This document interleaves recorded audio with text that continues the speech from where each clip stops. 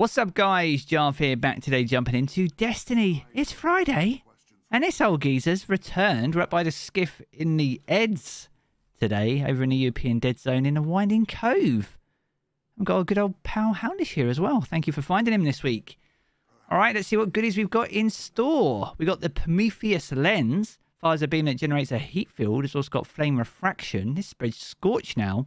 Pretty good. Love this. Uh, well worth picking up for 29 shards, especially with trace rifles being overload weapons next season, I believe. Uh, we've also got Dragon Shadow 65 with a juicy 27 on discipline, dodge reloads, guns, and buff speed and handling, which is always good. Again, a strong one for the Crucible. Uh, we've got the Mark 44 Stand Asides 63, so the lowest so far of the week. Safer shoulder charge abilities. I mean, I suck as a Titan anyway, so anything that makes it safer for me is a bonus.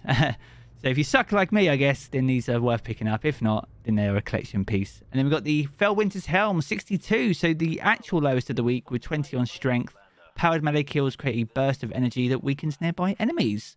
So yeah, and that's got quite good synergies with anything other than Void as well, which is pretty good to see. Uh, we've got Vulpecula as one of the legendary weapons, Encore Harmony. Enigma's Draw with Zen Moment Elemental Capacitor. We've got a juicy Thoughtless here, Snapshot Sight with perpetual motion. That's a very snappy and spicy sniper rifle. Remember, we've got deep sight harmonizers next season, and this only requires three deep sight patterns for you to be able to craft it. So if you've never had this before and want to craft it next season, or you just need one or two to finish and get the pattern, then uh, make sure to pick this up from Xur and keep it in your vault for next season. The same can be said for the Judgment of Kelgorath, but Banshee sells this pretty much every week. But this is a decent roll. Demolitionist surrounded pretty decent perk combination there for that. We've got Brigand's Law with Sympathetic Arsenal Threat Detector. A pretty nice Shattered Scythe there with Heating Up Adrenaline Junkie. That's a pretty good roll. Not too bad. Shame on the magazines though. And then we've got Lonesome with Zen Moment Slide Shots. So yeah, the standout is probably the Thoughtless this week. Uh, for the armor then, we got the new Monarchy set. Super rare. I don't think he's sold the full set of this yet. Uh, we've got 63, 63, 64, and a 59. So some high-ish rolls.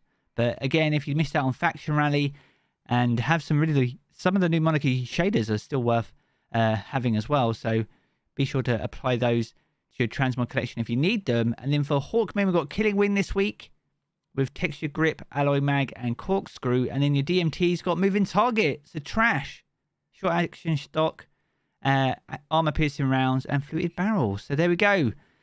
A good look at Xur. Will you be on Titan next week? Time will tell. Be sure to let me know what you think of that down in the comments below.